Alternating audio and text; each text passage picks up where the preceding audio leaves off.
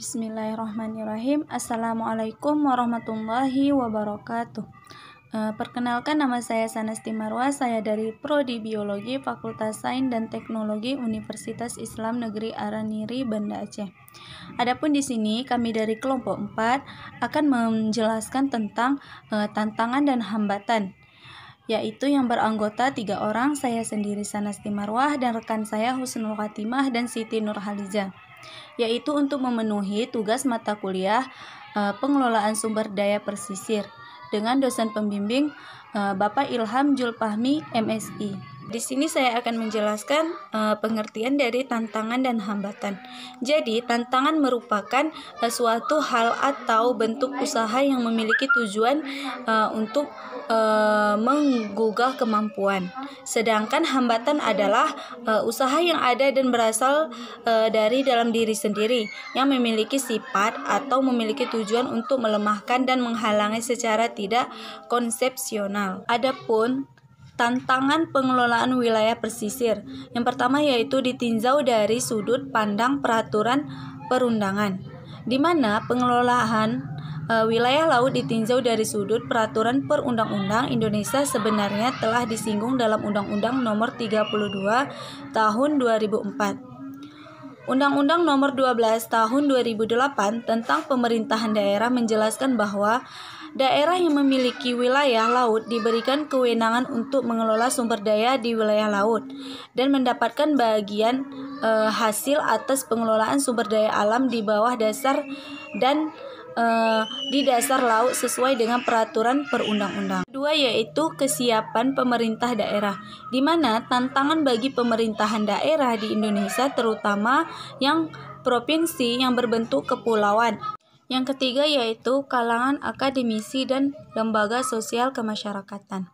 Di mana sesuai peraturan perundangan bila telah diundangkan maka semua masyarakat dianggap tahu.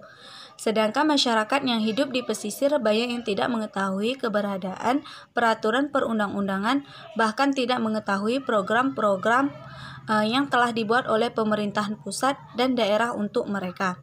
Di sinilah uh, diperlukan bantuan kalangan akademisi, para terpelajar, dan LSM yang konsen terhadap kepentingan masyarakat pesisir, membantu turun ke lapangan, e, mensosialisasikan program dan peraturan pemerintahan, baik tingkat pusat dan daerah yang berkaitan dengan hak dan kewajiban masyarakat setempat.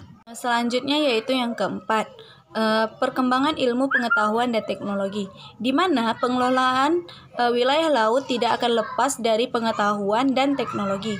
Bagaimana mungkin masyarakat pesisir, terutama para nelayan, mampu meningkatkan daya tangkap perikanan serta ekosistem laut lainnya seperti mangrove, budidaya terumbu karang, sampai dengan budidaya tumbuhan uh, laut lainnya seperti budidaya uh, rumput laut, semua itu memerlukan keahlian uh, dan teknologi dalam proses pelaksanaan. Yang kelima, bantuan modal di mana bantuan modal ini merupakan alasan yang utama bagi masyarakat pesisir terutama nelayan tradisional, yaitu untuk naik peringkat menjadi nelayan modern, di mana mampu menggunakan teknologi e, agar tidak celah bersaing dengan nelayan-nelayan di luar negeri. Peran sea farming di Indonesia untuk masa depan yaitu sebagai pemasok yang penting dalam produksi perikanan, mencegah kepunahan spesies, pengendalian tangkap ikan, pemanfaatan dan kelestarian sumber daya alam, dan juga untuk peningkatan devisa. Hambatan pengembangan sea farming di Indonesia salah satunya uh, teknologi penyediaan pakan buatan karena produksi pakan buatan dalam negeri masih sangat dipengaruhi oleh ketersediaan bahan baku yang bersifat musiman dan tersebar sesuai geografis negara kepulauan. Saat ini, pemeliharaan ikan laut dalam KJA sangat bergantung pada ikan rucah yang sangat ber, e, dipengaruhi oleh musim dan persaingan untuk pangan. Kemudian, keterbatasan teknologi informasi mengenai lokasi yang layak untuk pengembangan komersial.